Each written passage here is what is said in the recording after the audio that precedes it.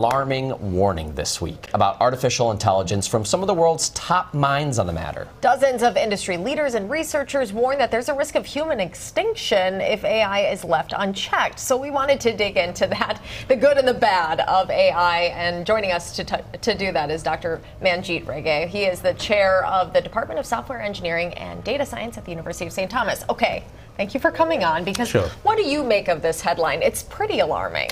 I know. So, the statement that came out from the Center for AI Safety, frankly, is a little bit over the top. It talks about uh, the doomsday scenario that can happen down the line if AI is not regulated. So we need to have some oversight.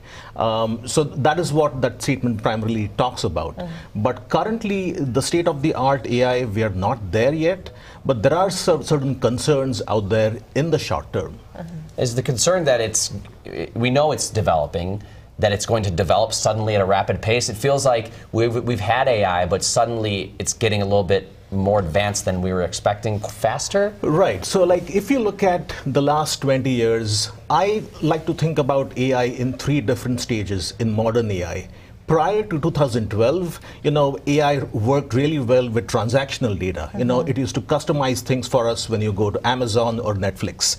In 2012, there was a big change where AI researchers noticed that you can analyze unstructured data like image, uh, text, audio.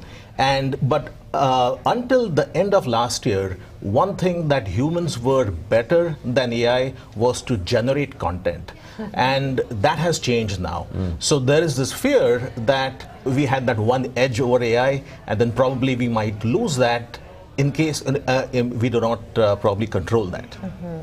Are there any ways that AI um, is being used for good? Places where you see advancements that are really helpful?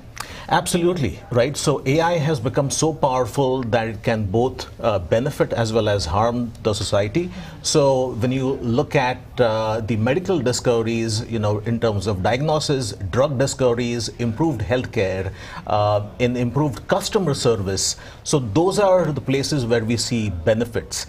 But then in terms of places where it can harm, uh, you know, deep fakes, for example, we all go to the World Wide Web to gather information, but if this is not regulated, we might go there and we might notice uh, text that is not correct, we might notice uh, image that may not be correct, and uh, we don't want to be in a situation where we have to figure out what is correct and what is not correct. I think that's what's making people feel uncomfortable when they don't know that it's exactly. it's generated by a computer essentially. Right. Right. You said what is correct and not correct. I feel like that brings in the word ethics. Yes. And how that fits into this. Mm -hmm. Are we are we letting it get too far? How do we keep things checked? What would you say? Yes. So I believe that you know there should not be like a complete pause on AI research. Uh, there needs to be freedom in terms of what uh, you can develop uh, uh, with AI, but there needs to be regulation when you deploy it. So there needs to be freedom in terms of research and development so that we can do advancement in a number of other fields.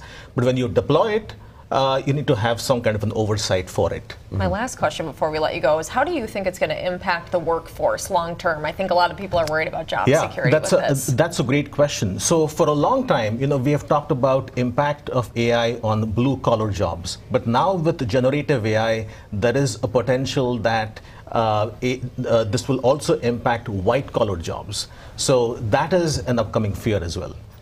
All right, a lot to uh, consider. Thank you so much for coming and decoding sure. some of this Thank for you. us. We appreciate it.